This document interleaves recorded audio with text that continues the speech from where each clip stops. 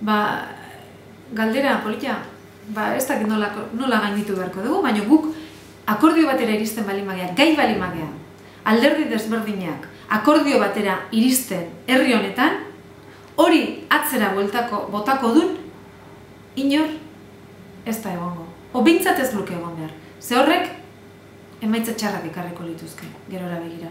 Bo, nik uste dut, erabaki bat hartzen denean, eta alderdien artean erabakitzen bali da gauza bat, hori guztiz errespetatu beharko dela. Bera gaindituko du langa hori, bera gaindituko du, akordio berak, gai izan bergea, gai izan bergea guztion artean erabaki batea iristeko, eta erabaki hori e, herri honentzat erabakirik onena izatea. Hortan iristu behar du, eta hortan jarri behar Eta egingo dugu hori ere bai.